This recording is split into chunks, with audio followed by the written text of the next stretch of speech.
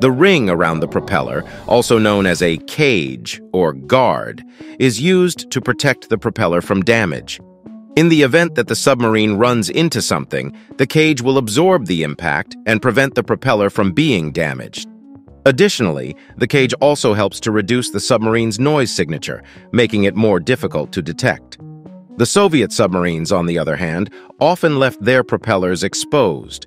This was due to a different design philosophy, which placed a greater emphasis on speed and maneuverability over stealth. Additionally, the Soviet submarines were typically designed to operate in shallower waters, where the risk of running into something and damaging the propeller was considered to be lower.